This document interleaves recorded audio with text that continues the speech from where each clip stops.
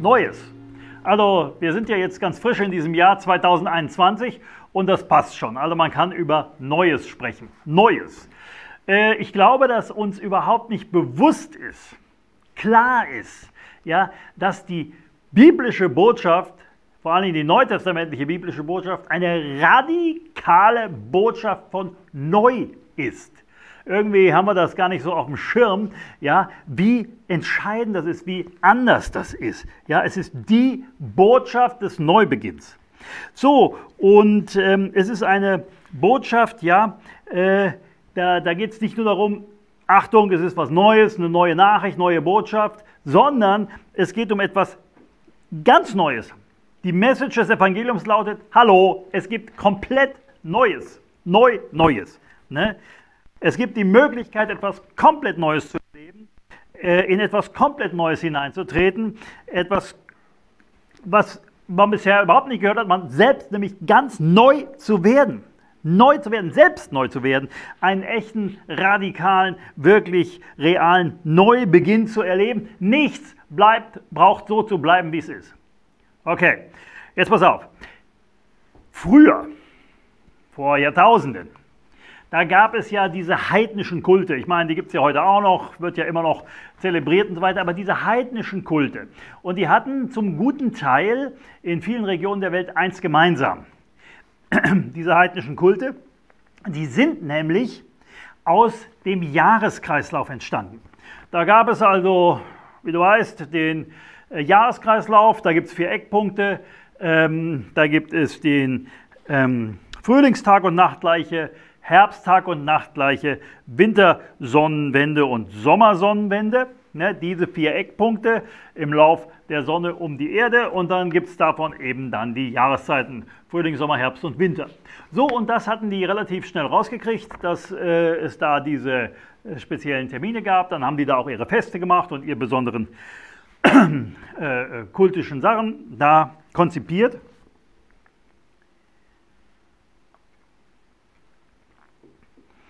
Ja, und daraus hat sich ihr ganzes Leben, ihr ganzer Kult, ihr ganzes Denken, ihre ganze Religion gebildet. Das war also eins mit diesem Jahreskreislauf, das war eins mit diesem Frühling, Sommer, Herbst und Winterding.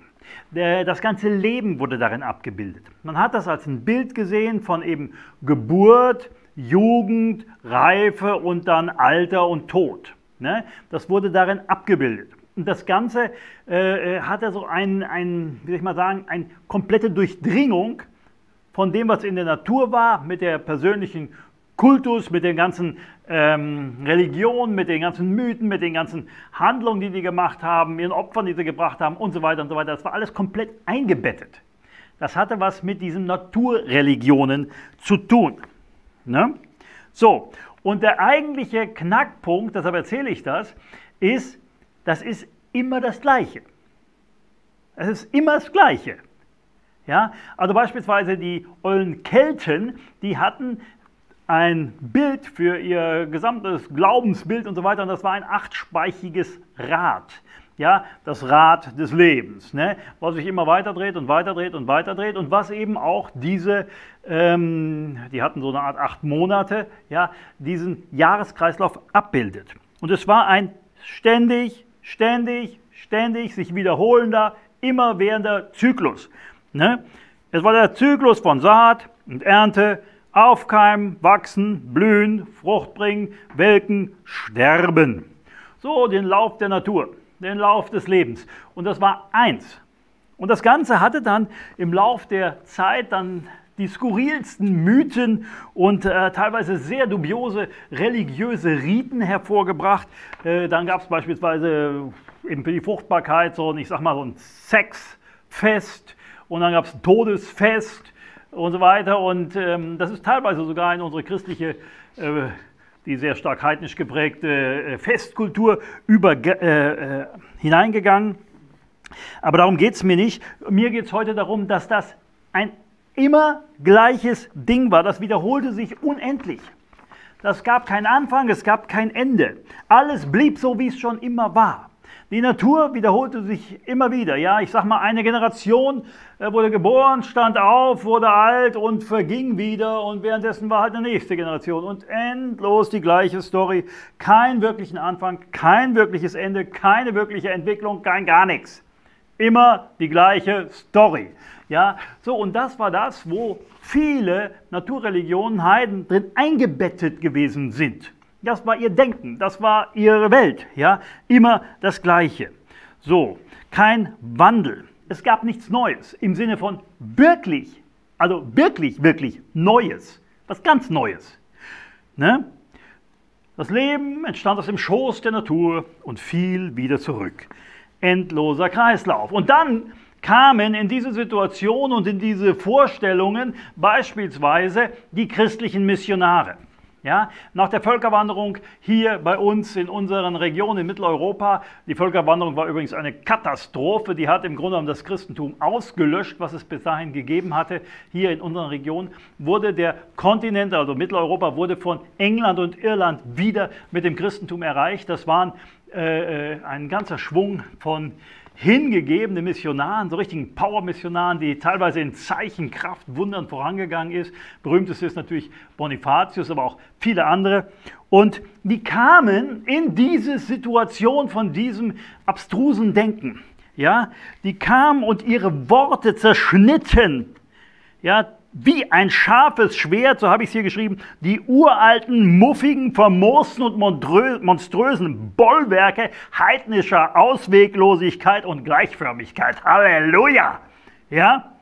Es war eine Botschaft, die Licht und Leben brachte, die frische Luft brachte, blauen Himmel, Freude, Begeisterung, Aufatmen. Es gibt etwas Neues, etwas völlig Neues, etwas nie Gehörtes, etwas Aufregendes, etwas Hoffnungsmachendes, etwas Visionsgebendes.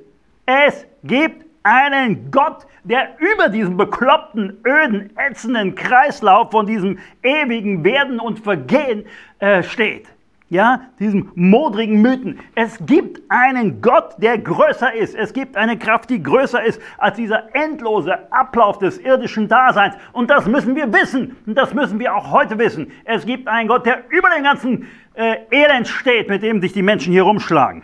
Ja, es gibt etwas, was über den Naturgewalten ist, ja, was ihren Gesetzmäßigkeiten nicht unterworfen ist. Es gibt einen Weg raus aus diesem letztlich sinnlosen Zyklus von diesem immerwährenden Werden und Vergehen. Es gibt einen Gott, der sagt, siehe, ich mache alles neu. Halleluja. Offenbarung 21, Vers 5.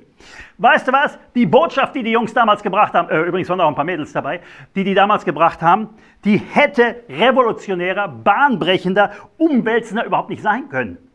Die kamen und haben gedacht, es gibt Neues. Das haben die Leute nie gehört. Das war bei dem nicht auf dem Schirm. Ja, ganz neu, völlig neu, völlig anders. Ein komplett neuer Denkansatz. Und das ist ein Kern unseres christlichen Botschaft. Ja, es gibt Neues. Es kann neu werden. Es kann anders werden. Gott ist ein Gott des Neuen. Er kann Situationen verändern. Auch die, in der wir uns momentan befinden. Ja, er kann jederzeit in unbegrenzter Kreativität eingreifen. Er kann Neues tun, Neues hervorbringen, Neues schaffen. Er ist durch diese irdischen Abläufe, durch diese Naturgesetze und den ganzen Kram nicht begrenzt. Für uns ist das wichtig, für uns ist das bedeutsam, für uns sind das Dinge, die uns begrenzen, aber nicht für Gott. Ja, er kann eingreifen, er kann aktiv Dinge und Situationen verändern. Ja, und er ist der Gott, der tiefen, echten, innigen Liebesbeziehung zu uns, aus der Neues hervorkommt. Und dann heißt es in 1. Korinther 2, Vers 9, und das ist eine meiner absoluten Lieblingsbibelstellen, was kein Auge gesehen und kein Ohr gehört hat und in keines Menschen Herz gekommen ist, was Gott denen bereitet hat, die ihn lieben. Kein Mensch kann sich das ausmalen, kein Mensch kann sich das vorstellen, kein Mensch kann irgendwie so eine Fantasie haben. Hey, Gott hat was ganz anderes, was völlig über das, was wir uns vorstellen können, hinausgeht. Gott hat für die, die ihn lieben, etwas vorbereitet, Neues, Neues, was absolut grandios ist. Ja? Und wenn wir die Bibel uns anschauen unter diesem Gesichtspunkt neu, dann stellen wir fest, weißt du was, die strotzt nur so davon. Ja, die Bibel ist total voll von Neuem. Weißt du, der hat die Welt erschaffen aus nichts. Also neuer geht es schon mal gar nicht. Ne? Das ist wirklich neu, neu. Ne? Und immer und immer wieder hat er eingegriffen und im Leben der Menschen Neues getan. Es gibt positive wie negative Beispiele. Ja? Äh, die Verwirrung der Sprachen war ein Eingreifen Gottes. War vorher nicht da, war neu. Die große Flut war neu. Dann hat er einen Menschen berufen, Abraham, einen, den hat er herausgerufen aus diesem heidnischen System. Ja, hat gedacht, hier, mit dir mache ich was. Du bist der Kernpunkt des Reiches Gottes, war auch neu. Ne? Und ich lege hier etwas hinein, was den Menschen die Lösung gibt, aus dieser gefallenen Schöpfung hineinzukommen in das Neue, das ich habe. Ne? Und dann hat sich von Abraham aus das Reich Gottes immer mehr entwickelt. Ne? Herausführung eines ganzen Volkes aus der Sklaverei. Wir haben letzte Woche darüber gesprochen. Hey, das war extrem neu. Und der Herr hat das Volk in was völlig Neues hineingeführt, von dem die keine Ahnung hatten. Die wussten nichts davon. Die kannten nur ihr Sklavendasein und ihr primitives Leben. Die wussten nicht, was der Herr für sie hat. Dummerweise, weil sie äh, gemurrt haben und doof waren, ja, sind sie in der Wüste rumgelaufen, ja, 40 Jahre in der Wüste rumgelaufen. Ich sage immer, es gab keinen Kaktus, auf dem die nicht gesessen haben, ja. Das war wirklich endlos. Ne? Und irgendwann, nachdem diese Generation dann äh, verstorben war, dann ging es wirklich in die Einnahme des verheißenen Landes. Das war dann wieder neu. Ne? Die Gabe des Bundes, des alten Bundes wie des neuen Bundes, zwischen Gott und Mensch. Und natürlich immer wieder, wenn du guckst in der Bibel, Berufung, Visionen, Prophetien, Zeichen, Wunder, irgendwelche Sachen, die du nie zuvor gehört hast. Immer neu, neu, neu. Wenn du die Bibel anschaust, du wirst verblüfft sein, wie viel es da um das Thema neu geht. Richtig neu. Und dann kommt natürlich der absolute Knaller, ja, das unvorstellbarste Ereignis aller Zeiten. Wirklich gut. Gott wird Mensch, begibt sich in die Schöpfung herein und schafft durch seinen Tod am Kreuz, seine Auferstehung aus dem Grab, den ultimativen, absoluten, dramatischen Neuanfang überhaupt. Absolut grandios. Den absoluten Neubeginn überhaupt. Und für jedermann, der das für sich annimmt, der willig ist, der sagt, das ist etwas, wo ich mich anklinke, ja, einklicke, ist es die Möglichkeit, einen völligen Neubeginn, einen Neuanfang äh, ähm, zu machen, der so entscheidend ist im Leben von jedem Einzelnen, der sich da einklickt, der sagt, ja, das will ich haben, das nehme ich. Da klicke ich mich ein, ich nehme das an, was Christus für mich getan hat. Ich will das haben, ja, dass die Bibel davon spricht, hey, wer das tut, der wird eine Neugeburt sein. 2. Korinther 5, Vers 17. Denn wenn jemand in Christus ist, so ist er eine neue, neue Schöpfung. Das Alte ist vergangen, Neues ist geworden. Jeder wiedergeborene Christ, ja, der diese persönliche Entscheidung hat, der aus dem Geist geboren ist, der den Herrn kennt, der sich ihm hingegeben hat, der ist eine neue Kreatur. Gab es vorher nicht. Eine neue, ich sag mal, eine neue Spezies im Geist, ein Geistwesen. Wie man so schön sagt, ich bin ein Geist, habe eine Seele und lebe in einem Körper. Das ist eigentlich für uns neutestamentliche Christen die richtige Beschreibung. Wir sind neu, wir sind anders. Wir sind auch nicht von der Welt, auch wenn wir noch in der Welt sind, weil wir in Christus sind, weil wir eingesetzt sind in der Himmelswelt. Ja? So, Gott ist der Gott des Neuen, der Schöpferkraft, der Kreativität, des Ideenreichtums. Bei ihm läuft das nicht aus. Das ist völlig anders bei der Gegenseite. Der Teufel kann nur kopieren und zwar schlecht. Aber Gott kann ständig, ständig, ständig Neues schaffen. Nur Originale. Ja? Du weißt doch, keine zwei Schneeflocken sehen sich gleich. Kein Fingerabdruck ist gleich. Gott schafft nur Originale, weil er grenzenlos kreativ ist und weil er Neues, Neues, Neues liebt. Halleluja. Er liebt es, Neues hervorzubringen. Und er liebt es. Er liebt es, Menschen einen Neubeginn zu ermöglichen. Einen echten Neuanfang zu ermöglichen. So, Ganz kleiner Überblick, nur mal so, was mir eingefallen ist. Ja, wenn die Heilige Schrift beispielsweise darüber spricht, dass wir Gott ein neues Lied singen sollen. Ja, da gibt es bestimmt acht bis zehn Bibelstellen, die das sagen. Ein neues Lied, etwas Neues, ja, anders, in unserem Lobpreis. Das muss neu sein. Also nicht eine jahrhundertealte Liturgie, die du wie so eine Gebetsmühle drehst, sondern nein, neu. Du musst dich inspirieren lassen. Es muss frisch sein. Es muss vom Herrn kommen. Es muss aus dem Geist kommen. Wer auf ihn hofft, gewinnt neue Kraft. Halleluja. Jesaja sagt weiterhin, der Herr wirkt Neues. Er lässt uns Neues hören. Das ist das, was die Missionare damals gemacht haben. Sie haben die Heiden Neues hören lassen und die waren begeistert, weil sie endlich den Ausweg aus ihrem elenden, sinnlosen Dasein gefunden haben. Der Herr sagt, er schenkt uns ein neues Herz und einen neuen Geist. Hesekiel finden wir das in 11.19. Dann eben, er einen neuen Bund. Halleluja.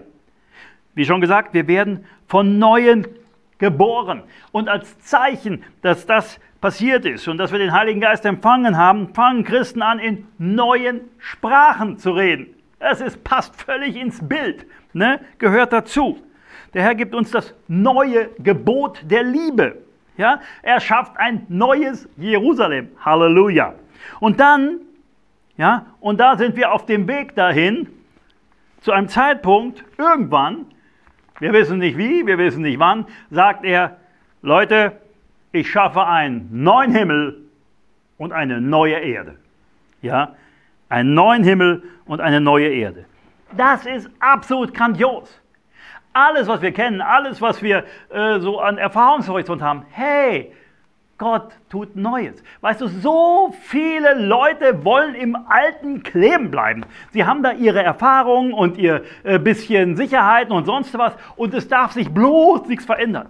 Sie haben Angst vor Neuem. Weißt du was, das ist vom Teufel. Angst vor Neuem, wenn es vom Herrn kommt, ist wirklich nicht gut. Wir müssen, und ich meine müssen, unser Herz öffnen, sagen, Herr, du darfst Neues in meinem Leben tun. Du darfst mich rausholen aus dem Ding. Du darfst mich in was Neues bringen. Ich will mit dir an deiner Hand in was Neues hineingehen. Ich vertraue dir. Bleib doch nicht in dem Kerker hocken, nur weil es ein bekannter Kerker ist. Ja, irgendjemand hat mal gesagt, äh, ist natürlich ziemlich derb, ja, aber der hat gesagt, vielen, vielen Leuten ist eine bekannte Hölle lieber als ein unbekannter Himmel. Und das gilt tatsächlich für manche Menschen. Aber das, was für uns, Gott für uns vorbereitet hat, geht weit über alles hinaus. Ja, übersteigt unser Ermessen, unsere Vorstellung, unser Verstehen. Ja, er will Neues schaffen, nicht nur im Großen, nicht nur in der Bibel, sondern in deinem Leben, in deinem eigenen Leben will er Neues tun. Ja, unser Spruch ist ja, unser Slogan, unsere Herzensüberzeugung, Gott hat mehr für dich. Das heißt, da ist was Neues drin. Er hat mehr für dich. Neues. Ne? So, und da will er dich hineinbringen. Etwas, was du nicht kennst und von dem du nicht geträumt hast. Und in der Phase, in der wir uns jetzt momentan befinden, wo so viele Dinge im Schwanken sind, wo so viele Dinge auf einmal in Bewegung sind, wo Dinge, die festgefügt schienen, auf einmal äh, bröseln, ja, wo Dinge, wo man seine Sicherheit und sein äh, ganzes äh, Leben drauf gebaut hat, auf einmal sich als ziemlich schwankender Grund herausstellen und in den vor uns liegenden Monaten noch viel, viel mehr herausstellen werden, wie die prophetischen Worte sagen. Ja, in dieser Phase ist es wichtig, Vertrauen zu Gott zu haben und sagen, Herr, ich bin bereit, mit dir ins Neue zu gehen. Du bist derjenige, der der Garant ist, dass ich durch diese Umbrüche, durch diese Erschütterung, durch diese Phase in das hineinkomme, was du für mich hast. Und das ist etwas wirklich, wirklich Gutes ja, etwas Gutes. Er hat frischen Wind für dich, frisches Feuer für dich, frisches Leben für dich, Neues für dich. Ja, du kannst aus dem muffigen, eingestaubten, alten, sagen wir mal, vermoosten deines bisherigen Lebens rauskommen. Das, was einfach so, ja, verstaubt ist. Ne?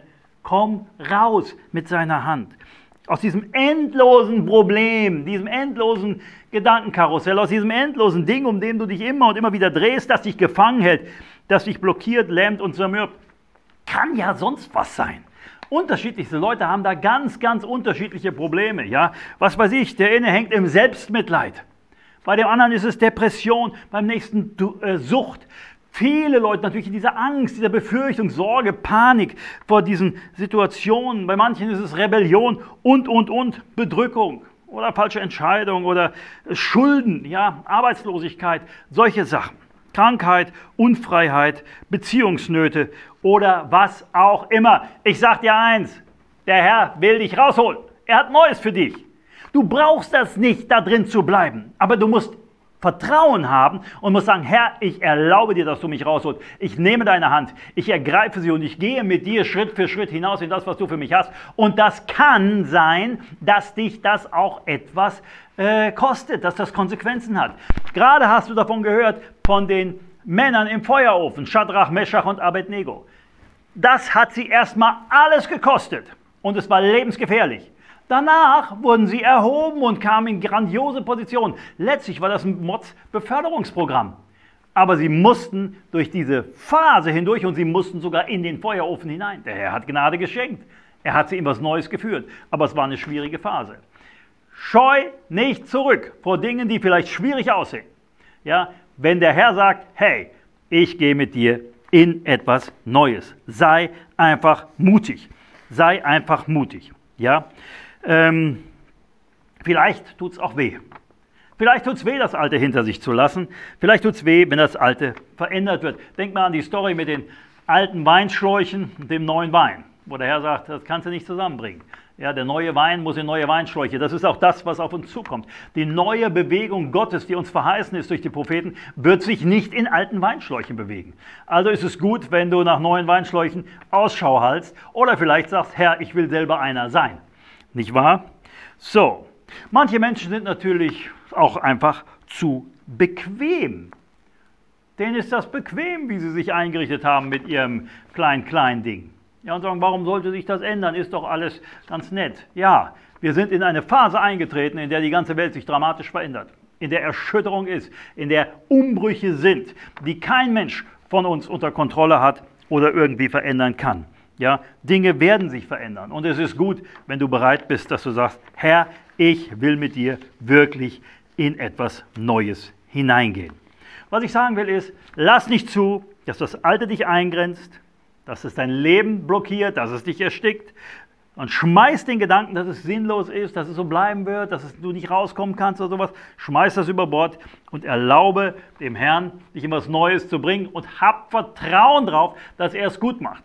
Weißt du, die Bibel sagt, wenn du den Vater bittest um den Heiligen Geist, ja, er wird dir nicht irgendwas geben, was schlecht ist, keine Schlange, kein Skorpion, kein Nix. Er wird dir das geben, was gut ist für dich. Vertraue doch dem Herrn. Auf wen willst du sonst denn vertrauen? Auf dich? Ja, auf deine Freunde, deine Bekannten oder irgendwas? Auf die Rente?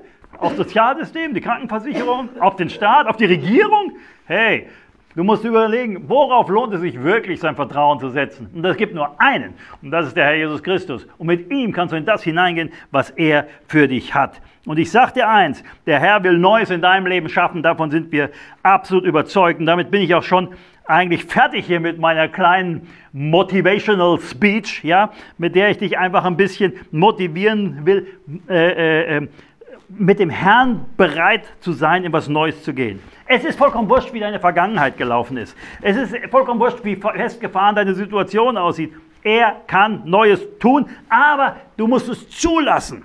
Geh mit Gott in etwas Neues hinein. Mach dich auf zu neuen Ufern, neuen Horizonten, neuen Herausforderungen. Und in dem Zusammenhang habe ich hier in dieser Broschüre, ähm, die du hoffentlich schon hast, ja, habe ich etwas gefunden, was ich dir noch vorlesen will. Und dann beten wir noch für dich. Ähm, und diese Broschüre, Gott und das deutschsprachige Europa, ist ein kleines Büchlein, was du bei uns kostenlos bestellen kannst, auch gerne mehrfach bestellen kannst für deine Freunde oder Hauskreis oder sonst was. Schicken wir dir kostenlos zu. Schreib uns einfach an oder bestellst über die Webseite.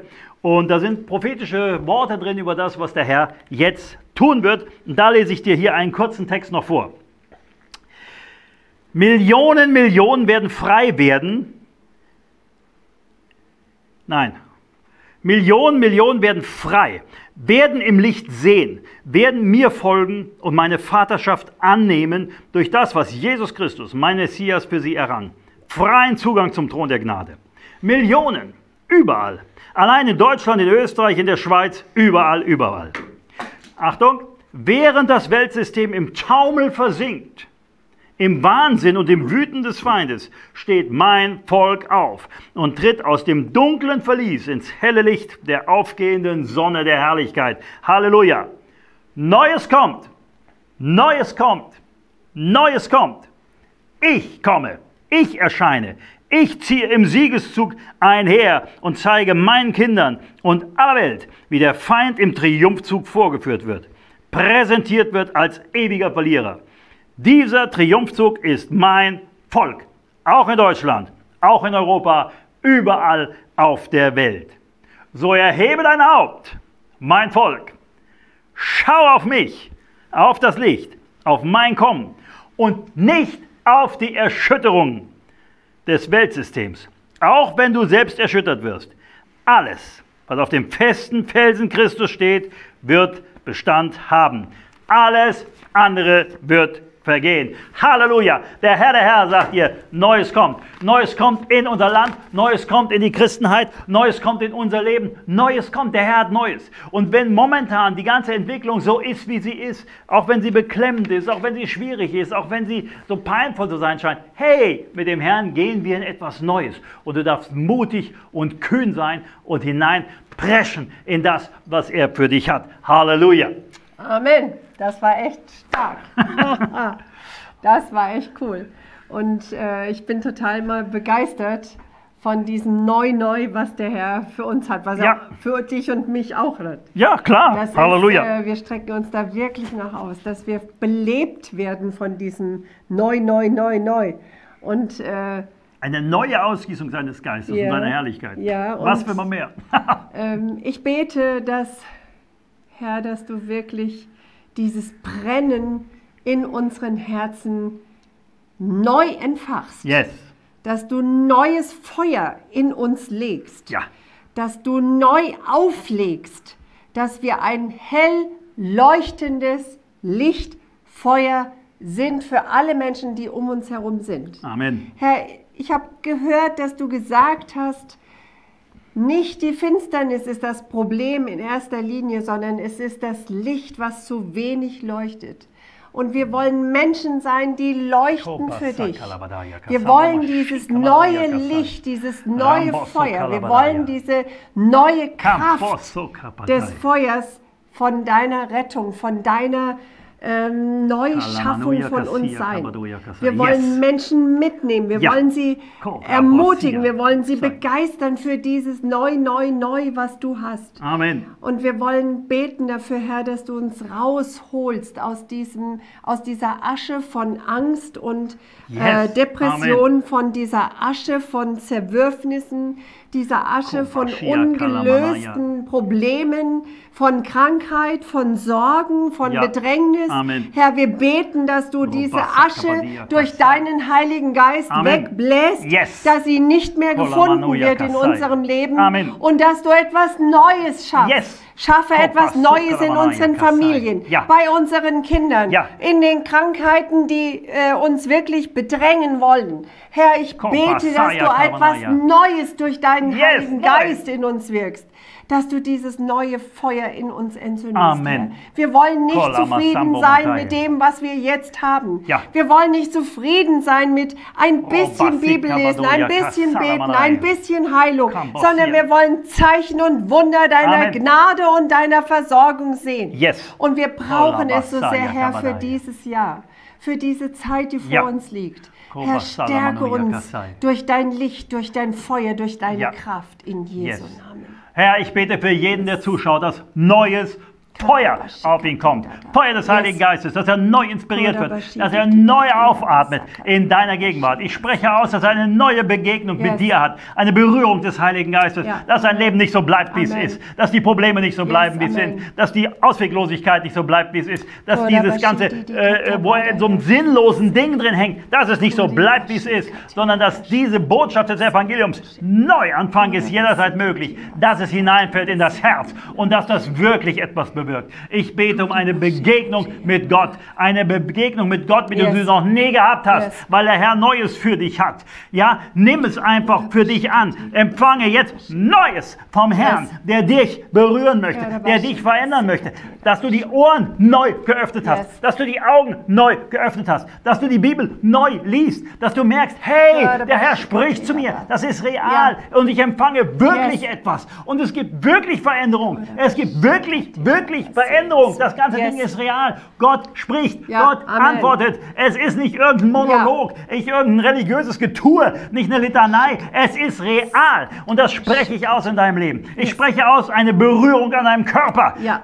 Heilung. Ich spreche aus eine Berührung an deiner Seele, in diesem psychischen Bereich, wo da Yes. Verletzungen sind, Heilung. Ich spreche aus eine Berührung mit deinem Geist, wo du neu aufatmen kannst. Ja, Zeiten der Erfrischung, davon spricht die Apostelgeschichte, Yes. in deinem Leben. Und es ist vollkommen wurscht, wie bekloppt die Situation in der Gesellschaft Ja. oder in unserem Umfeld aussieht. Der Herr hat Neues für sein Volk. Und er sagt, erhebt eure Häupter in dieser Stunde, weil eure Erlösung naht. Amen. Ich will mit euch was Neues tun. Und ich brauche euch in diese Phase hinein, um einfach das zu tun, was ich tun möchte, Herr. Und wir preisen dich dafür, dass Yes, du der Amen. Gott des Neuen bist. Halleluja! Amen. Wir danken dir dafür, dass du Amen. Neues tun wirst. Ja. Dass du Neues tun wirst. Und ich proklamiere über unserem Land, Neues kommt Ja. in unsere Nation. In Neues Jesus' kommt in unser Land. Neues kommt. Und nicht das, was irgendwelche komischen Kreise, irgendwelche komischen Eliten sich ausgedacht haben. Irgendwelche äh, äh, Leute, die da ihre Machenschaften spinnen. Nicht das, was irgendwelche finsteren äh, äh, Okkultisten oder sowas sich denken. Sondern Neues kommt. Zustande kommt der Ratschluss des Herrn. Wir beten um eine Bewegung Gottes. Wir beten um eine Ausgießung des Heiligen Geistes. Wir beten um Neues. Und ich proklamiere und ich prophezeie, dass das Neue kommt im Namen Jeshua HaMashiach. Yes. Es wird nicht so bleiben, Oder wie es ist. Und diejenigen, die versuchen, unser Land in Elend zu führen und in Not zu führen und uns äh, äh, alles zu rauben und dieses antichristliche Weltsystem aufzubauen, im Namen Jesus, es wird nicht zustande kommen. Yes. Denn auch wenn die Finsternis zunimmt, das Licht kommt, das Amen. Licht kommt, das Licht kommt, Neues Yes. kommt, die Bewegung des Herrn ist da. Du wirst sehen, wenn du weitergehst mit dem Herrn, mit deinen eigenen Augen wirst du sehen, wie Zeichen und Wunder geschehen, die man noch nie gehört hat. Das sagen die prophetischen Worte. Und wir sind dabei, auf der Schwelle da hineinzutreten. Und wenn Amen. du dabei sein willst, kannst du dich einklinken. Kannst du dabei sein, kannst du sagen, ja, Herr, ich ergreife deine Hand. Ich bin dabei. Ich bin dabei, in Neues zu gehen. Neues, Neues. Halleluja. Ich Yes. finde das so eine geniale, geniale Sache. Ja. ja, egal wie es aussieht. Weißt du, Ja. der Herr führt uns in Neues. Ne? Er führt uns in, in wirklich ein Neues. Er hat etwas Geniales für uns. Er hat etwas Großartiges für uns. Und wenn die Welt in diese Probleme und in diese Erschütterung kommt, wenn die Systeme immer mehr wanken und sogar zusammenbrechen, hey, wir stehen auf dem Felsen Christus. Wir Yes. stehen fest. Wir stehen fest. Um uns mag alles den Bach runtergehen. Wir stehen fest, weil wir auf einem unerschütterlichen System stehen, nämlich dem Felsen Jeshua HaMashiach, der in Ewigkeit nicht wanken wird. Und Yes. das ist das, was die Propheten gesagt Amen. haben. Und dann bist du und ich, wir sind zu beglückwünschen, weil wir diejenigen sind, die den anderen, die da am Untergehen sind, die Hand reichen können Ja. und sie auf den Felsen ziehen können. Ja, das ist die Ernte. Wir holen die Leute auf den Felsen. Wir holen sie auf das, was nicht erschüttert werden kann. Von Ja. mir aus kannst du auch sagen, wir holen sie in die Arche. Wir holen sie raus aus dem, was sie äh, ähm, versucht runterzuziehen. Und wir holen sie auf das, was sie auch in Ewigkeit rettet. Wir holen sie Amen. auf was Neues. Halleluja. Hey. Es ist so großartig. Ich Yes. bin begeistert. Also diese Botschaft von dem Neuen, Ja. das ist einfach so cool, ja, weil das ist das, ist das was, Ja. was diese ganzen Naturdinger, die haben das überhaupt nicht drauf. Ja, das ist etwas Moosbewachsen. absolut neu. Ja, das ist so moosbewachsen. Und das ist auch das, was die UNO drauf hat und sonst was. Die wollen alle uns mit ihren komischen äh, Weltanbetungs-, also Erde, Erdeanbetungskram da beschäftigen. Hey, als Kinder Gottes haben wir etwas, was wirklich auf einem völlig Ja. anderen Level ist. So, und wenn du das lesen willst, bestell dir hier das Heftle, ja, die Broschüre Gott und das deutschsprachige Europa. Wir haben gerade vor kurzem wieder 10.000 Stück gedrückt, äh, gedruckt. Wir haben Unmassen davon, kannst du wirklich bestellen. Ja. Und ähm, da kannst du lesen, was der Herr Neues tun will. Genau. Halleluja. So, zur Erinnerung, nächste Woche wollen wir wieder gemeinsam beten für die Anliegen, die jetzt im Mosekörbchen liegen. Und wir werden da nochmal was zu sagen. Und äh, bereite dich vor, wenn du daran teilnehmen möchtest, dass wir dann gemeinsam Abendmahl nehmen Ja. wollen und ähm, einfach diese Kraft des Leibes und die Kraft des Blutes Jesu in Anspruch nehmen für die Dinge, die in unserem Leben neu werden müssen. Ja. Denn auch das Abendmahl, diese Gabe des Abendmahles, das war etwas Neues, was Jesus installiert hat bevor er gekreuzigt wurde und auferstanden ist. Ja, also dieses, wenn du neu dabei bist, wir haben einen Korb, wo also die Gebetsanliegen reinkommen, wo wir dann für beten. Mhm. Der ist inzwischen wirklich gut gefüllt und den nennen wir das Mosekörbchen, hat eine Story dahinter. Die und wir dann können wir erzählen. erzählen. Und das ist nächste Woche wieder dran mit Genau. Abendmahl. Bereite dein Abendmahl zu Hause vor. Ja. Wir werden eine super Zeit haben. Wir werden uns viel Zeit fürs Gebet nehmen, denn wir glauben wirklich, dass Neues in deinem Leben dann auch real freigesetzt wird. Amen. Ja, und weil Gebet wichtig ist und Gott Gebet hört, wollen wir das auch immer mehr üben und machen und erwarten. Halleluja. So, wir hoffen, dieser Freitag hat dich gesegnet.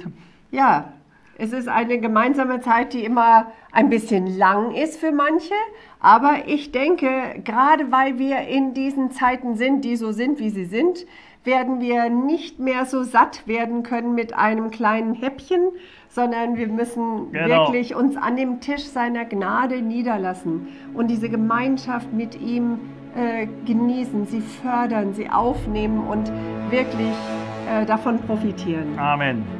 So wollen wir dich segnen Ja. heute an diesem Tag und Genau. dass du in der Kraft Gottes weitergehst in diese vor dir liegenden Tage und in dieses vor uns liegende Jahr. Ja, Neues kommt. Halleluja. Wir segnen euch und verabschieden uns. Jawohl, seid reich gesegnet. Shalom und Shalom. ciao. ciao.